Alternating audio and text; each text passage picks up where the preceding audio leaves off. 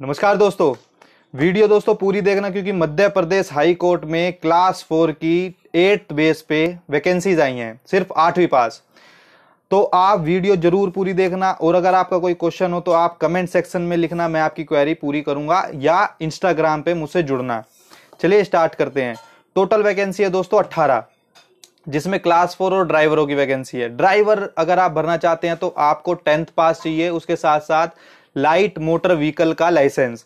ये सबके पास होता है मैक्सिमम।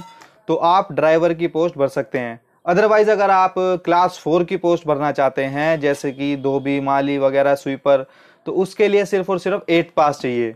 ठीक है दोस्तों? अब चलते हैं आगे कि इसकी लास्ट डेट है दस तारीख। लेकिन अगर आपने फॉर्म भर दिया और उसमें कोई मिस्टेक हो गई है तो आप वो करेक्शन तेरह जुलाई तक कर सकते हैं। पचास रुपए आपके चार्जेस लगेंगे, आप तेरह जुलाई तक उसको ठीक कर सकते हैं।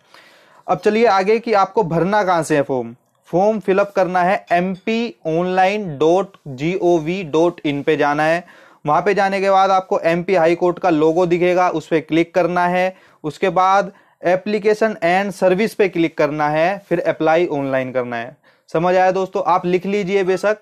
वीडियो पॉज कर दीजिए और स्टार्ट करता हूँ। दोबारा लिख लीजिए M P online dot G O V dot in लिखना है गूगल पे। जब ये खुल जाएगी तो एम पी हाई कोर्ट कई लोगों पे क्लिक करना है। उसके बाद एप्लीकेशन एंड सर्विस पे क्लिक करना है। फिर ऑनलाइन एप्लीकेशन करना है। आपको डायरेक्ट लिंक मैं अपने डिस्क्रिप्शन में भी दे दूँगा। आप वहाँ पे डायरेक्टली कर सकते हैं।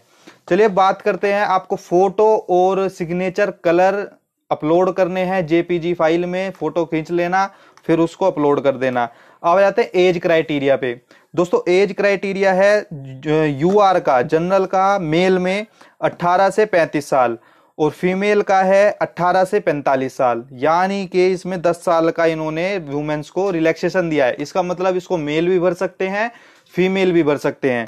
और OBC S C S T को दिया है 18 से 40 फॉर मेल 18 से 50 फॉर फीमेल।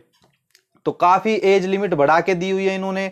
अब सवाल उठता है कि ये मध्य प्रदेश हाई कोर्ट की वैकेंसी क्या इसको अदर स्टेट का पर्सन भर सकता है? मैं आपको जवाब देता हूँ हाँ। चाहे आप कोई से भी स्टेट के हों, आप इस फॉर्म को फिलअप कर सकते हैं। काफ़ी बच्चों के सवाल आते हैं कमेंट सेक्शन में कि, सर, हम इसको फिल कर सकते हैं, हम यहाँ से हैं, हमने वो कर रखा है। तो आप सब इसको फिल कर सकते हो मेल फीमेल सबके लिए एप्लीकेबल है।